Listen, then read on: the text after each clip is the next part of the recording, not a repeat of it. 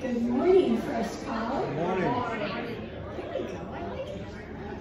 I hope everyone is well. This is a gorgeous, gorgeous morning. It's supposed to be sunny all day long. Or not, we'll see. Please stand and join us as we sing our praises.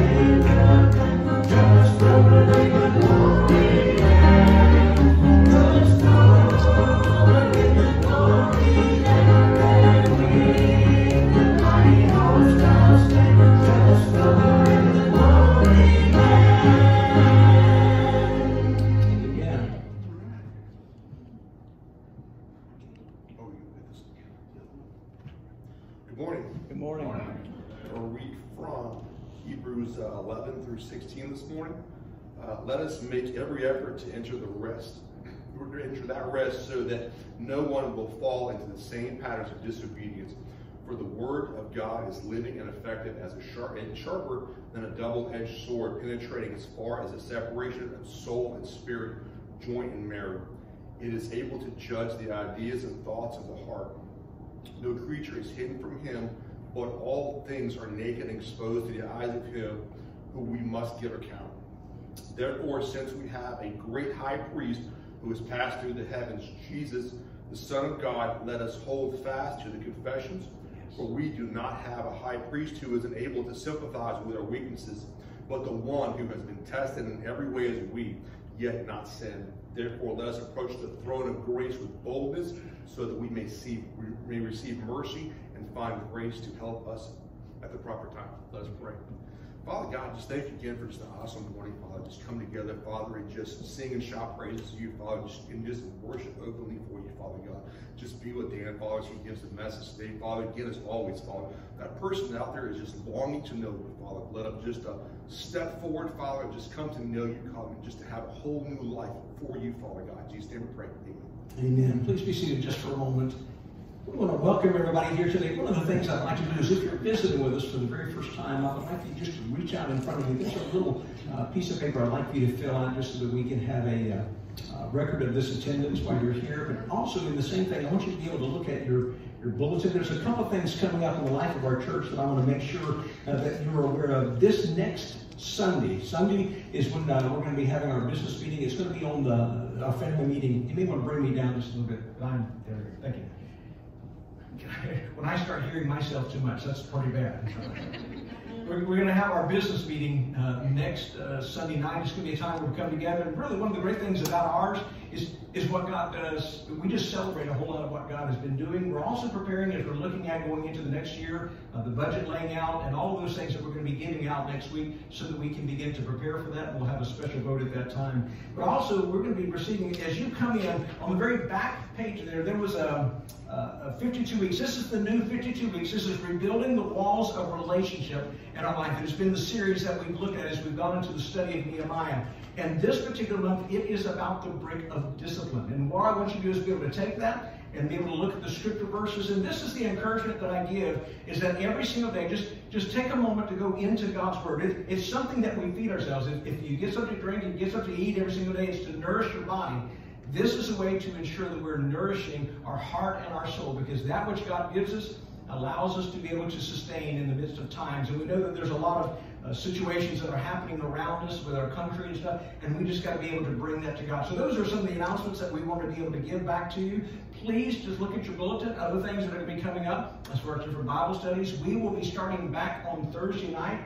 Uh, not only at 5.30 because we normally have our, our family meal before, but right at 6 o'clock, we're going to be starting back with our study of the book of Revelations. We finished uh, the Chosen series, which was during more June and July. And we're going to be going back into our study of Revelations, and it will start back with a with a rev review, so you didn't lose anything that you were there. So it's going to be a, a, wonderful time, and I invite you to come be a part of what God's doing here in life of our, of our family. If you will, let's all stand together right now. For those that are visiting, if you would, uh, just remain seated just for a moment so other people can see you. Go around, shake hands, hug necks, and welcome each other in the precious name of our Lord Jesus Christ.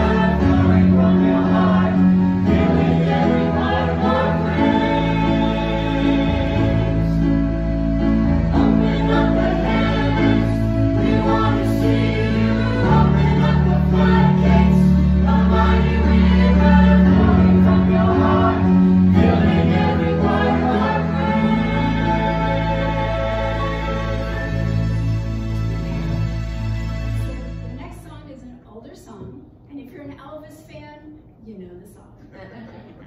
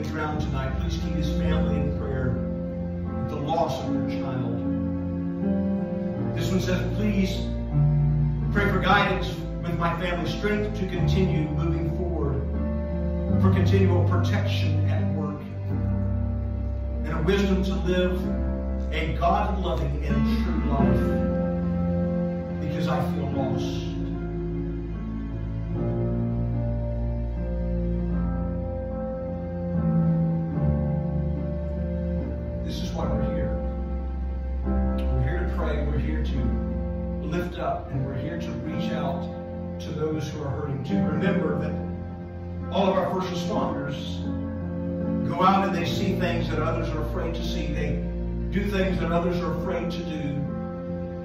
And they have to take home things that they would rather not take home. So we pray for them this morning and asking God's continual coverage over their hearts and in their lives, especially as many of them are getting ready to get started again with schools and our school security meetings that we have in these next weeks. Pray that God will continue working it through their lives. Also continue to be in prayer for a woman by the name of Jordan. She had reached into here and asked that we would pray for a co-worker that she has.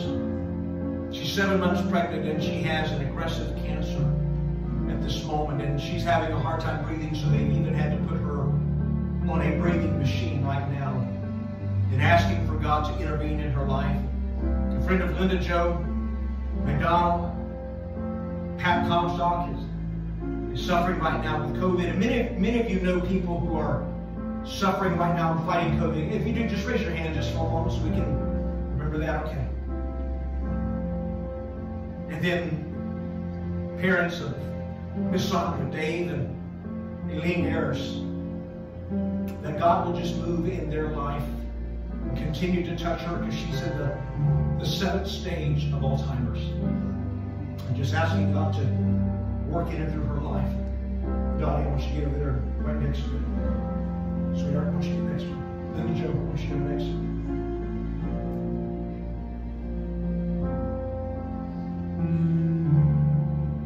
Because, ladies and gentlemen, when we, when we pray as a church, we pray as a church that remembers that God and God alone meets us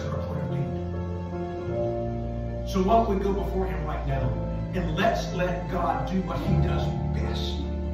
And that's meet us right at that moment and holds us in the grip of his grace. Let's pray together.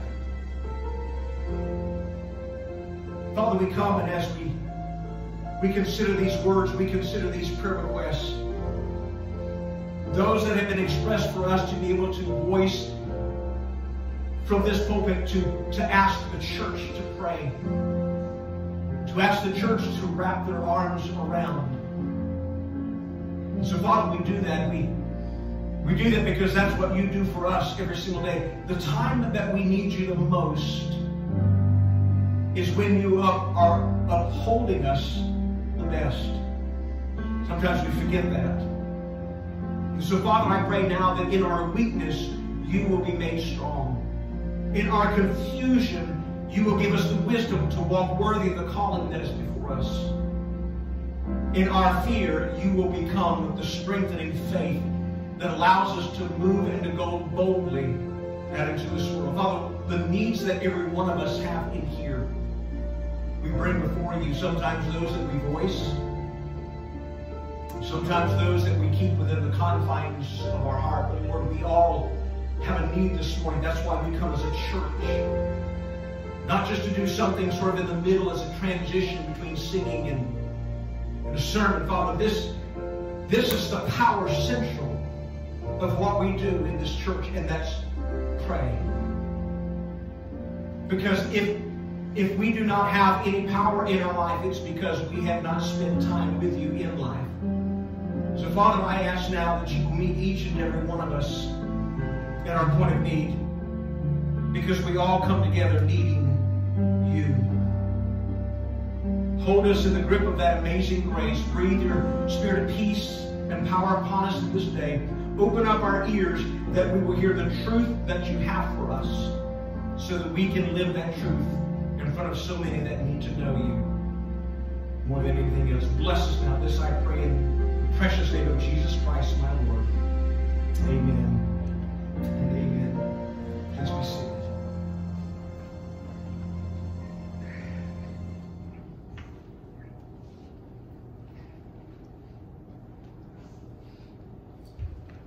Let me ask you a question as we begin this morning. What makes a bridge scary to you? What makes it? Now, many of you have driven cars and stuff over bridges itself. There are a variety of different ones. If you look up world's scariest bridges, you will be able to see those, and you're like, I would, I would not even venture to say. But you know, there's not just ones that you drive over. There are bridges that you walk over. Now, I want you to know in my personality, of being able to go, I, I take challenges like that, but I think there are some bridges that I would look at and say, yep, works for me. I'm going back the other way. Because there's a moment to when, when you're stepping out and the clouds are below you and not above you, there's an issue with my trust factor at that moment. Is this bridge going to sustain me? Is this bridge been tested for the weight that I carry? Is this bridge going to do for me what it says it's supposed to? And that's hold me up. Reason I start out with this this morning because this is what we're going to be looking at in Nehemiah chapter 8. You see, in Nehemiah chapter 7, we began to start seeing all of us start working toward worship. What does that mean in life? How do we begin to express God in the worth, not just of the worship itself, but how do we begin to start grabbing other people around us to make it more of that, that difference between energy and synergy? Energy is what you do, but synergy is what you gain when you do it with other people. And see, that was chapter 7. But now we're going into chapter 8. See, chapter 8, when you when you look at that, is about truly the Word of God. Now, now here's something I want you to know about this morning, and this is how we're going to do this. Is because today I'm going to give you what I call the 30,000 foot view. That's kind of where that earlier picture is of where you're looking and you see the clouds beneath you. We're, we're going to go through sort of a, a 30,000 foot view of chapter 8 this morning. Because this is a chapter I want us to take time in. See, Nehemiah has allowed uh, all the people to now come together, and because of their work, the walls have been finished. The gates have been replaced. Jerusalem is now saved. They're working now and making sure that everything is established on the inside. They are now at a place to where they can go back to what Nehemiah desired more than anything else, and that was to get back to a heart of worship. And in doing so, that heart of worship, ladies and gentlemen, comes from the Word of God. And that's where we'll begin to start looking at in God's Word of what that means of what's happening in their life. You see, they're, they're, they're stopping at the seventh month. They're, they're getting ready for that. What is in the seventh month? It begins with a process of rallying together to prepare for worship. There's a couple things that's happening in the seventh month. It's the high holy days of the feast, the feast of trumpets. The Feast of Sukkot, which is the tabernacles. Yom Kippur, the high and holy day of atonement is right in there. But the day actually begins, the first day of that seventh month begins with Rosh Hashanah, which is the beginning of the new year. We look at New Year's January 1st. This is the beginning of the Jewish new year. This is where everything starts going into place and how we're going to be able to start preparing for the festivals that were about to come. That's why it was so important for what Nehemiah did to get everything ready because the seventh month was coming. Only God could have done it.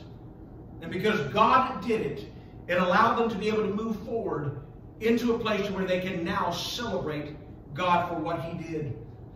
Yom Kippur, which is the high holy day, which is the 10th day after that beginning of the first of those seven days, those 10 days of the festival, leads to the high and holy day of atonement of Judaism.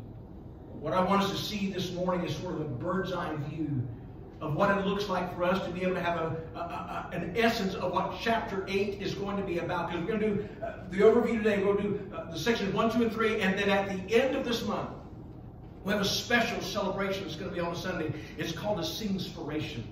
And we have a group that's going to be coming in because it's not just about the written word that we have, but it is about the spoken and celebrated and singing word that all of us will be able to enjoy. And I'm looking forward to that. But if you, I want you to take your Bibles.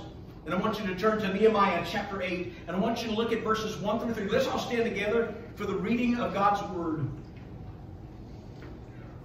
As it starts out in this, this incredible book, verse number 1 Now all the people gathered together as one man in the open square that was in front of the water gates. Actually, rather appropriate there because we talk about Jesus being the living water. And they told Ezra the scribe to bring the book of the law of Moses, which the Lord had commanded Israel. Verse 2 So Ezra, the high priest, the priest, brought the law before the assembly of men and women and all who could hear with understanding on the first day of the seventh. Now, all this, that was kids also. Kids that had reached an age to where they could begin to understand. So here's what, here's what you see. You see hundreds and hundreds and hundreds of people that are now all gathered together, men and women and older kids. Verse 3. Then he, being Ezra, read from it in the open square that was in front of the water gate from morning until midday. What uh, is it? Morning was when the light started breaking through when, when, when the dawn broke. So he read from dawn for six hours. You think that's a long service? So he read from morning till midday before the men and women and those who could understand. And the ears of all the people were attentive to the book of the law. Six hours. They were attentive to the book of the law. And what God is going to be teaching us as we start going through this incredible chapter is what does it mean for us to have God's truth in our life? And how that breaks down of where we move from where we are to where we need to be in the celebration of that which God gives for us, and that is the worship of who He is. But before we go into our, our time of study, let's go before the Savior one more time. Father, I thank you for what you're, you're about to do in our life. Father, not just in the words that we share, but Father, just in the days ahead, Father, there is an anxiousness, there is an anticipation of what you're doing in each and every one of us and what you're doing here at First Call. Father, as we look as an overview of, of, of what your truth really means, the word of truth. And Father, then understanding the worship of that truth, of how we apply it to our lives, because then it goes back to what we do with it in the end, and that's the work of truth. Father, your truth is what's going to hold us in a place that holds us in a grip of grace that never, ever lets us go, even when we're weak. Father, you uphold us with your righteous right hand. So meet each and every one of us right now in our point of need because we need you, and it's in God's precious name that I pray. Amen. Amen. Please be seated. Well, the first thing I want you to note is found in verses 4 through 6. And, and this is the word of truth. Again, we're going to be doing what I call the 30,000 foot view. But when you consider this, it said in verse number 4 So Ezra, the scribe, stood on a platform of wood which they had made for the purpose. That way people could see him elevated. It jumps to verse 5 And Ezra opened the book in the sight of all of the people, for he was standing above all the people. And when he opened it, all the people stood in reverence of God's word. That's why when, when we're about to read, as we start out and we read God's word going into the, this is why we stand. We stand in the honor and in the reverence, not just of the word of God, but in recognition of the God of the word. So they stood up. And Ezra blessed the Lord, the great God. And then all the people answered, Amen. And amen. That's the first amen corner, if you want to mark that out. That's where it starts right there while lifting up their hands, and they bowed their heads and worshiped the Lord with their faces to the ground. My friends, what, what do you do with the God of this word? The, the Bible in your hand, the scriptures that's on the screen, the truth that we find in praise and word. What do we do with God's truth every single day? Here's a key point, and I wrote it down because I wanted to make sure that I didn't miss it because when I was studying this and getting down to it, everything we do is based upon the Word of God, not the ideas of man. Not stuff that we kind of put together and make it sound good. Everything is built upon precept upon precept, upon truth upon truth.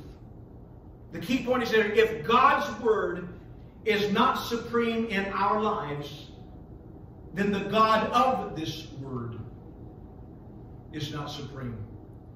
Let me say that again. If God's word is not supreme in our lives, then the God of the word is not supreme. that simply means that if we start moving in our life, there, there is a life that if we're not careful, we can begin to live that becomes the antithesis of what's happening. If God's word is not supreme, we will move from certainty to hesitancy to complacency and end, up with, with spiritual apathy. Uh, Did you know that? You, you can start out excited, but if it simply goes to where it's just getting worse and worse and worse, we simply look at God's Word then. It's just being something that we put on a table. And not something that we put in the heart. So what, what, what do we do with, with this incredible word? Well, first of all, let me give you some things that you don't do. First, you don't want to despise the Bible. Now, when I talk about despising the Bible, I mean that, that you, you have people that will come to you and they just hate everything that, that you say about the Bible. They, they, they run against you and they, they really don't have any time for it. But what it does is they just despise the Word of God. Those are the ones that are the Bible haters of this world. You, you know those that when you come in contact with them, because they just have a vim and vigor of taking God's word and carrying it to church. But then you also have not only those that despise the Bible, you have those that deny the Bible. They deny its power to be able to move us in our life, to discount the power of God's word is like rewiring a house without turning off the main breaker of energy. How many of you have ever been shocked as a kid growing up? I, remember as a child of about four years old, I took a bobby pin, found a plug, and stuck it in it. It didn't take me long to realize that that was a bad, bad idea. You see, but that was just a small shock. What happens when you have a world that wants to continuously take the power away from the one who is power in our life? Continues to shock them, continues to hold them at bay. What about those that distort the Bible? What about the wackos and the lunatics and the Fruit Loops? The ones that will take it, take just enough to make a theology out of it. But the problem is, is it goes deeper and deeper and deeper into a darkness. We know men like that, that have done it throughout all of generations. Jones and, and, and how those have been brought underneath a, a Guyana tragedy because of who he said. There was a point where he was preaching and then finally taking the Bible and dropping it to the ground and saying, I am God. And people fell alongside of that. They were so hungry for something. Here's something which Scripture tells us in Proverbs that to the hungry, even the bitter taste sweet. To those that are hungry for truth in God's Word, even the bitter they will begin to accept, even though in their mind they're saying this isn't, this isn't right. But they will continue to go with it because of those who have distorted the truth. In, Psalm chapter 14, verse 1, it says, A fool says in his heart, There is no God. Many times when we look at others that are trying to portray God, leads us to a fourth way is that we learn to dissect God's Word. How many of you, when you were in school, had to dissect frogs and things of that nature? That was, that was always the time I loved science. Uh, the rest of it was just boring to me. But when you're dissecting, when you're pulling out, when you're looking at the muscles and the tendons and all of the different things inside of there and that, that incredible aroma of formaldehyde, it's always there. When you're dissecting, you're, you're learning how different things work. My friends, there are people that will look at God's Word as being like a math book. And, and like secular theology, they, they try to dissect it in about 16 pieces. The problem is that they're, they're looking at the words of a song, but they don't hear the melody. They, they don't hear the song of grace. It's because they're too busy trying to explain why it's there. Guys, have you ever been in a situation to where you, you just couldn't explain what was happening? overwhelmed, stuff of that nature. We can spend time trying to explain it. But if we're walking in faith in God, we just enjoy the moments to be in it. And that's why when we look at it, but there's there's another one. Yet the greatest, I believe, that begins to threaten the power-filled vault of God's treasure in His Word is when we both look at the written word and the living word and we approach it this way we disregard it. We disregard this incredible book. These are those that read it and do nothing with it, like the coffee table decoration. It is a keeper of records of generations of those who have married and those who have given children. But basically, it is, is now just become a empty repository of information rather than the priceless vault of what God has given us for the treasures in our life when we disregard God's word, God's word is his love for us. It is his love letter to us. It is a love that is expressed in 1 Corinthians chapter 13. And it says that if I have not this love in me, it doesn't matter what I do. I can be just a noisy gong or a clanging cymbal. If I do not have God's love in the midst of my life, if I do not hold his love letter and allow it to be a part of my life, all I'm doing is simply just walking a pathway that ends up to be empty and fruitless at the end. See, God's Word is the Word of truth, something that the world doesn't like to hear about. But when we look at God's Word, listen, we will only learn the authority over the devil of self and sin when we come fully under the authority of God's Word. Let me say that again in our life, there are things that God has given us authority over as a child of God. He's given us authority over the devil, over Satan, uh, over sin, and over self. That's the authority that he's given as a blood bought child of God. Now, can we mess that up? Well, let me ask you have you ever messed that up before? God, God kind of in charges you for something else, and then you come back saying, Well, that, that, that didn't go well. That's why we've got to rely upon what God does for us. But in order for us to be over the things that God has us over, we need to be under the things that God has us under. We are under His Word so that we can be over His world. And this is not a way by which we simply push and have different responsibilities and relationships that we try to navigate and push around. This is a relationship that we have with God first so that we can love each other best. My friends, I know that in our lives, in order for us to truly walk a way that is worthy before God, we have to recognize the truth of who He is and what He does by the word by which He has given us. This is, this is God's instruction for us.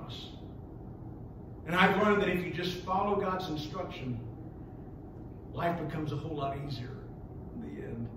It allows us to be able to walk in such a way that we can see His will and begin to start looking at it. It is more than just a simple acceptance. There are those that I know that will accept God's word, but here's how they approach it. When they open up their heart to Christ, they will simply allow God's word to be fire insurance. How many of you have fire insurance on your home?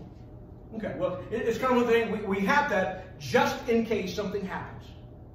But my friends, God never designed His Word, His truth, His salvation to simply be a fire insurance.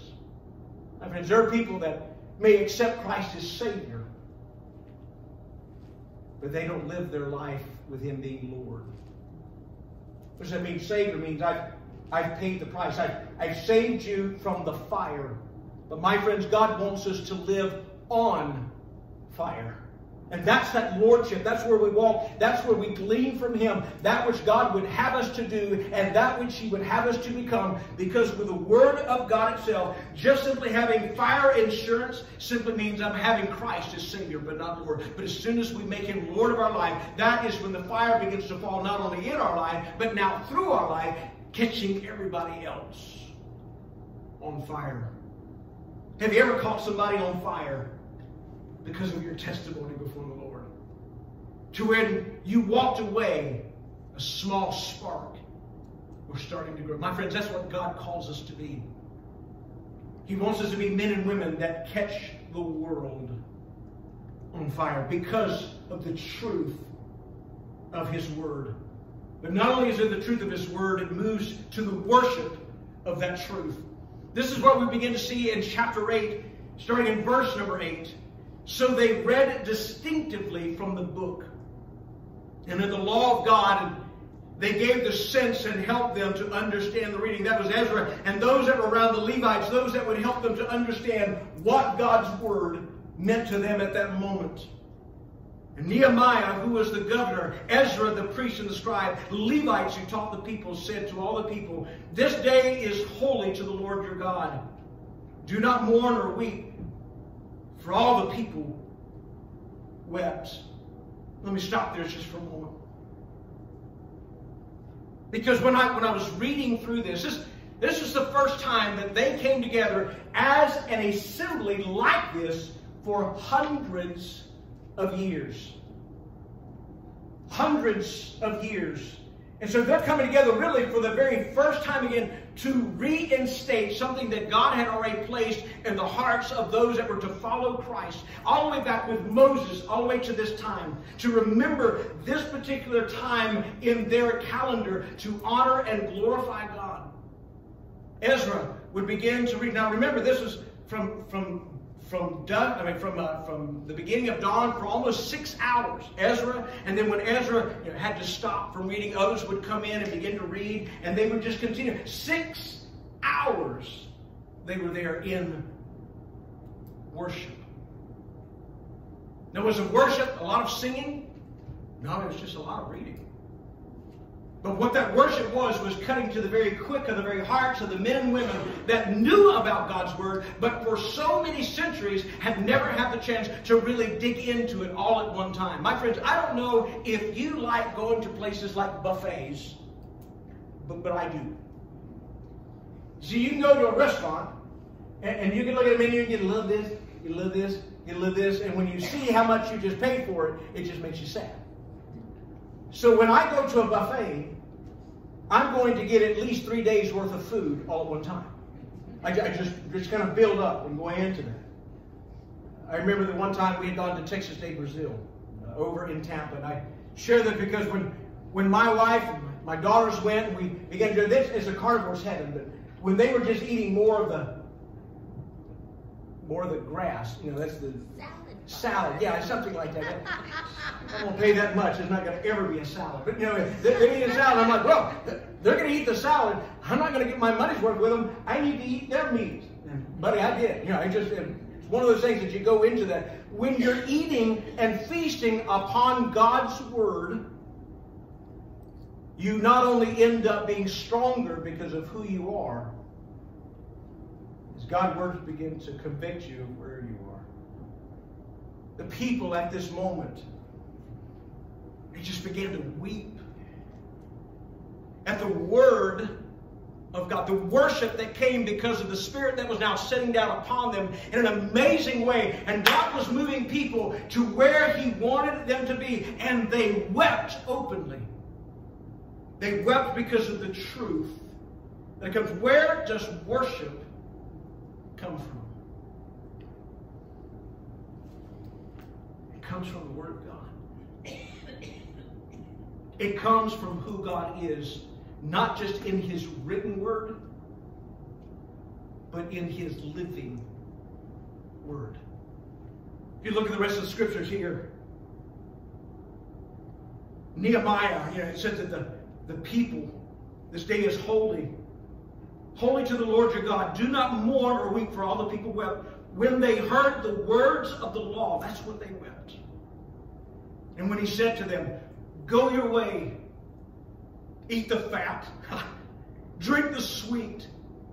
And send portions to those to whom nothing is prepared. For this day is holy to our Lord. Do not sorrow, for the joy of the Lord is your strength. Let me ask you something this morning. Where's your strength coming from? Have you ever felt days where you are so depleted? Energy wise, it seems like everything is left. Emotionally wise, you are tapped out. Mentally, you are stretched thin. Hard to be joyful in those days, isn't it? To in the midst of what it seems like a a weight that begins to pull you down to where, like the quicksand of this life, you're just trying to get the next foot right out in front of the other. And it's, it is hard to be joyful in it. But God says, listen, if you just turn your eyes toward me, if you just worship who I am, I will give you the strength that you need. I will give you the direction that you need to go. I will give you victory in whatever it is that you're fighting against. My friends, we try to do so much on our own. God says you can't do it that way. The word of truth is fueled by the worship of truth. And that worship is knowing who God is and who I am not. I am not the master creator of this universe. But I'm someone that the Lord Jesus Christ died for in a way that allows me to now be a part of the singing saints of who he is. What happens when we look at the latter part of verse number 9? Again, is, is that part about the weeping. My friends, there's going to be moments that God is going to break our hearts, and, and it will. But when those moments come, we then realize that through the worship of who He is, we can still get started with the work of truth. Work of truth is found in verses 13 through 14. Just as a snapshot, It says, now on the second day. Now, uh, they had just started the first day of the feast. And now it's continuing more so. So it's the second day, and the heads of the father's house of all the people, with the priests and the Levites, were gathered to Ezra the scribe in order to understand the words of the law. They found written in the law, which the Lord had commanded by Moses, going all the way back to Exodus, that the children of Israel should dwell in booths during the feast of the seven months.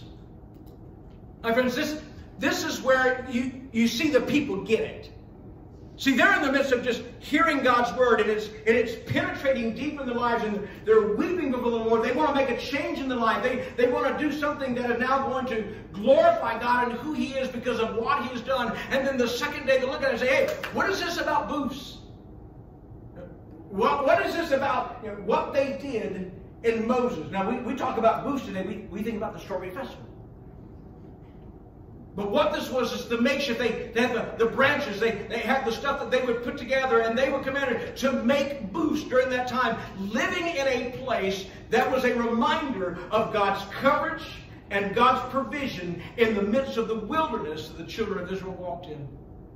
Now here's how it, it played because they, would have them in different ways. They, they would make a booth outside of their home. When I was in Israel some years back, and it was during this time of the, the festival of the booths, and I began to see homes that had the little makeshift booths on the outside. And here's what would happen is the family would go out and they would have dinner out in that booth. Sometimes the family would create it in such a way that they would be able to sleep out there at night. It's, it's how they developed it because it was a reminder that when Moses and the children of Israel were in the desert, when they were waiting to go into the promised land, they lived they lived with the coverage of God over them. Even when they were disobedient for the 40 years, that God's coverage was still over them. God's provision was still upon them. God had a purpose for them. My friends, listen to that last part because sometimes in our life we feel as though we can get so far away from God as a child of God that God can no longer use us. My friends, that's a lie and it smells like smoke and it's from hell itself. Hell wants to keep you defeated in your life because hell knows that you are a warrior for God.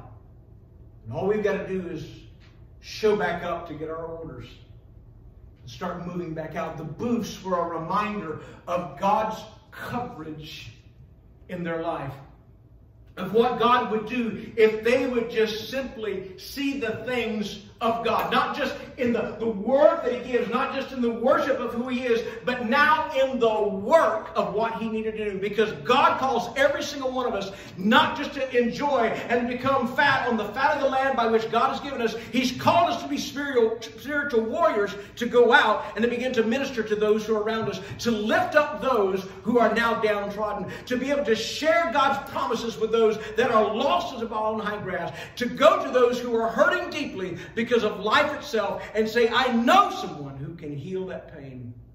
Friends, that's what God calls us to do. And it's the moment to where the children of Israel are living in the booths that they recognize the, the coverage of a creator. You see, the booths is that which had to be created by things that were natural. Palm branches and things of that nature. Not bricks What's the difference between bricks and what they did? Well, bricks, you can take credit for it. I mix this, I mix this, I make this, and I got bricks. My friends, can you take credit for a stone? Can you take credit for a branch of vegetation? We can't take credit for it. Why? It's because we needed to get to a place, and they got to the place to where their coverage was only provided by God and not by them. My friends, when's the last time you encountered something in your life that only God could intervene? That if God didn't come through, you were a goner for sure. That's your booth. That's your booth. It's the place that you go to in the times where you're struggling and you're hurting and you're not sure. And you go to that booth and say, God, I know that you answered me here. God, I know that you protected me here. You are faithful today. You are faithful tomorrow because you have been faithful all of my life. My friends, when's the last time you went to your booth and said, God, I need you now so that I can understand who you desire for me to be? Sometimes we can be filled with so much stuff of the world that we forget to, to feast on the word of truth. There was a a farmer that didn't like the high cost of oats. And he needed to take care of his mules, but he didn't like the cost. So here's his idea. I'm just going to sort of separate. I'm going to add in together, not, not just the oats, but I'm going to add in some sawdust, some filler. Now, the mules ate, and they continued to eat, and they continued to eat, and they continued to eat until they died. And what did he find out? Because he was substituting more, not of the grain, but of the sawdust. And though it satisfied, in a sense, their eating, it did not satisfy their hunger. What is this study in Nehemiah chapter 8 going to do for us? It's going to get us back to the grain of God's Word. Guys, there's a lot of things out there that we can read. Devotionals items that help point us to God's Word.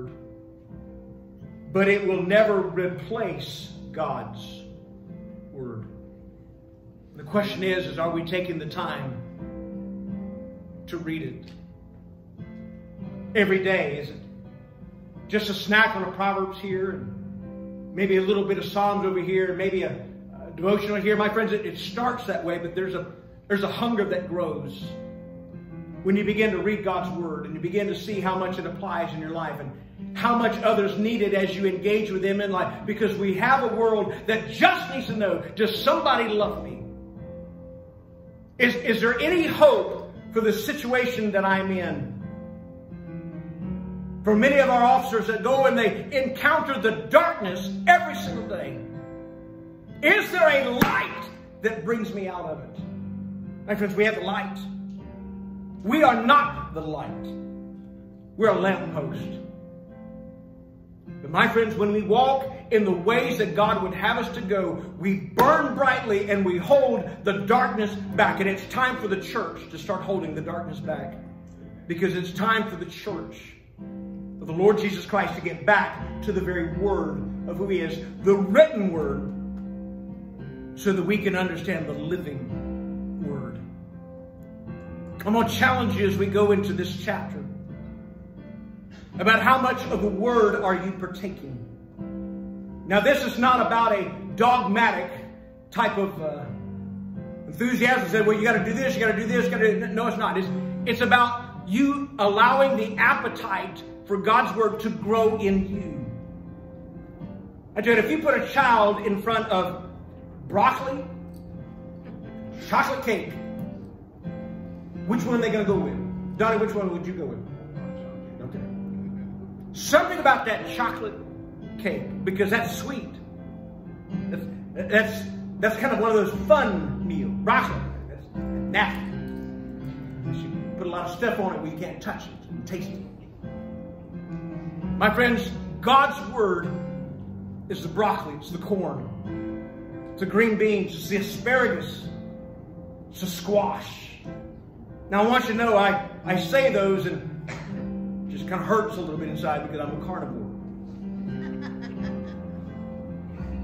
but you know what? I, I found out over this last week I need to get a little healthier in my life. That means I need to eat a little bit more vegetables. And not just be a pure I heard someone say amen. Don't do that.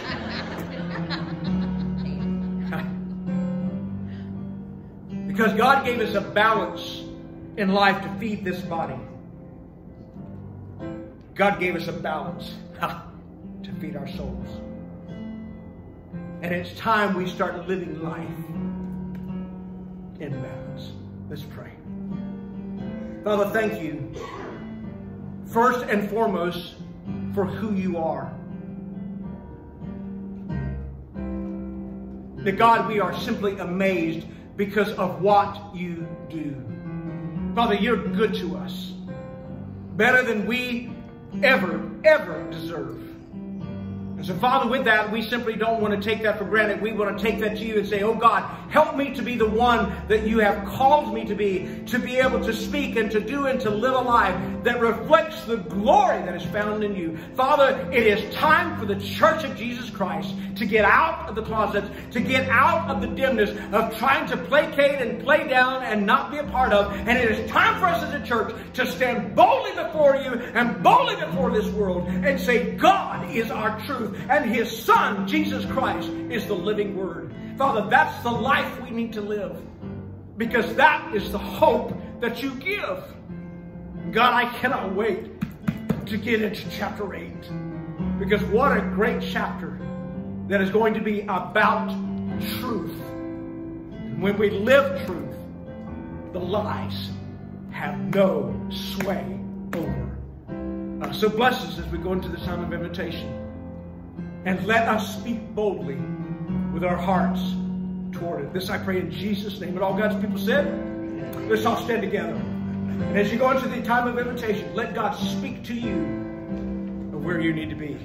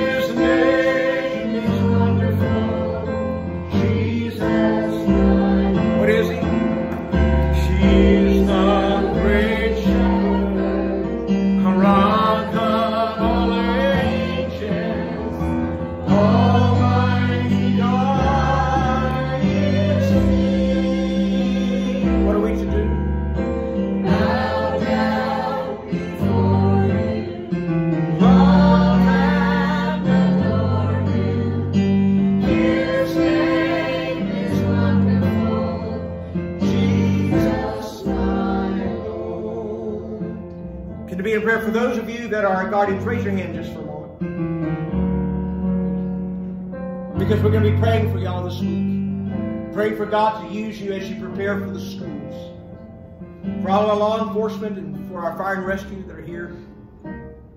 Pray that God will move upon you as you go into this world that continues to be dark, but God has called you to be light. Pray for our medical personnel to not just be the representative of health, and of healing and of wholeness, but to be the representative of the one who is the great physician that brings it all to us. My friends, we are all first responders. Because God's word said, But seek ye first the kingdom of God and his righteousness. And all these things will be added. What is all these things? Life and life more abundantly. And if we come to remember, Thursday, 5.30, come join us for some victuals, and then right at 6 o'clock, we're going to jump right back into our study of Revelations, and I cannot wait to get started because it continues to point to not just where we're going, but a God that holds us right where we are. Let's bow and be dismissed in prayer before. Oh, thank you. Thank you for reminding me. Uh, Ariane just reminded me, for those of you that know Miss Miss Annie and Brother Fitzhugh, was able to spend some time with them yesterday, but, but Brother Fitzhugh is in what we call the last season, the last steps. I was able to go by and pray with him and his family. And Brother Fitzhugh is being taken care of by his kids. I pray for the strength of their kids. And we know that it's not long before God is going to call Brother Fitzhugh home. Tremendous warrior, love the Lord, and sometimes the hardest part is the family having to watch in the process. And we ask God to be merciful and gracious because we love this man. We love this family. Ah, but we know God loves him more. So we ask for God's hand to be upon the family. And when he's ready to take Brother Fitzhugh home, because he'll leave this world and be in the presence of God, and he will be just as he is, fully redeemed and in a body that no longer aches and has pains. Father, it's sad for us. We know that when people leave in our life, but my friends, that's the joy of the gospel. We will see them again. So be in prayer for Miss Annie and Brother Fitzhugh and their family as we get ready to leave out today. Let's pray together. Father, I lift lift up the entire family. Nat and Brother Fitzhugh and the kids. God, I pray that you will help us to be an extension of your hand in their life. Pray, God, that you will help us to call them, to text them, to write them. But most importantly, every single day to pray for them. To pray for your presence of peace. Father, I pray for all of us right now that as we leave out from this place and we move forward into the next week and all of the different things that are still in preparation, getting school ready and starting back with colleges and all of these things. God, help us to walk worthy of that which you have called us to be. And that is a representation of the living word in our life. To simply carry the light to those that need it. Father, for those that we lifted up earlier, who have physical needs, who have heart needs, who have hurts within their life. God bless them right now. Bless us all that as we leave forward from this place, that we will begin to put a fire in our life that we will set this world back on fire for you. Because it's grown dark. And the enemy loves the darkness. It's time to push it back a whole lot more. So hold us in the grip of your grace until we see you face to face. This I pray in the precious and awesome name of my Lord Jesus Christ. And all God's people said, Amen. Amen and amen. God bless you as you go. Looking forward to seeing you on Thursday night at 5 o'clock. 5.30.